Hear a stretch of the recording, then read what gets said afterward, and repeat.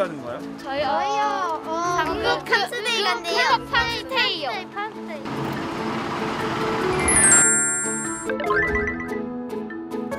그대로 이렇게 끼웁니다. 네. 충분히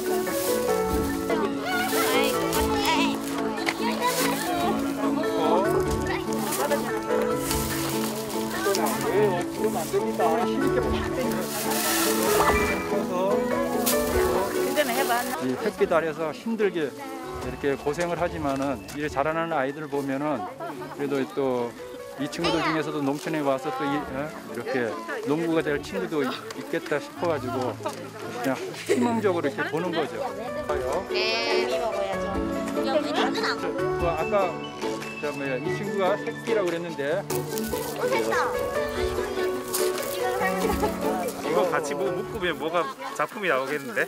아, 애들이 뭐 하나씩 체험을 해서 완성해내고 또 제가 그 옛날 지나간 역사 얘기도 애들한테 들려주고 그런 게 너무 보람을 느낍니다.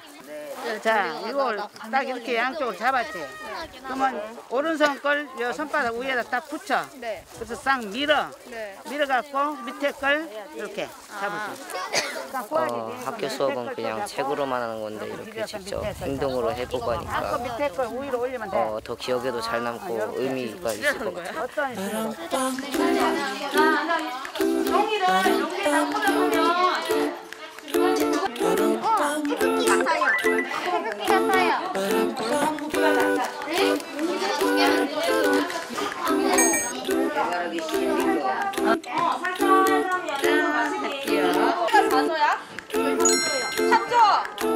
가져요.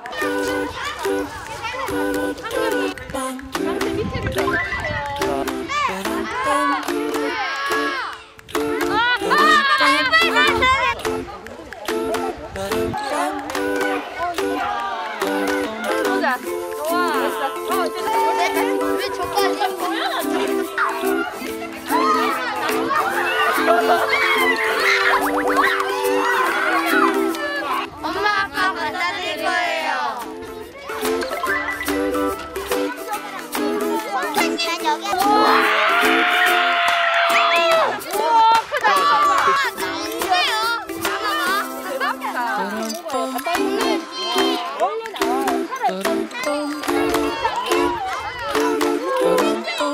우리 아이들이 어, 자연과 함께 한다는 그런 감수성, 그 다음에 그러면서 또 서로 어, 인성을 길러가는 그런 효과가 있지 않을까 기대하고 있습니다.